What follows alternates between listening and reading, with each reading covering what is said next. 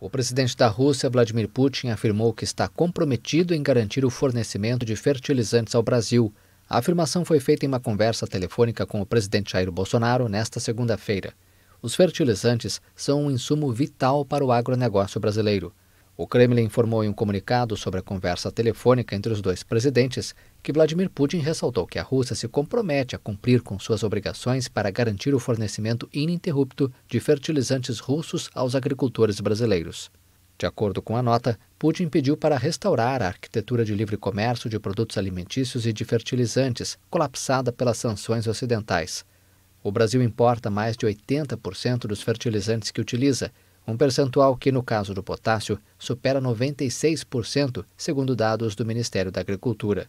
Mais de 20% dos fertilizantes que o Brasil importa vêm da Rússia, que é o principal fornecedor do país.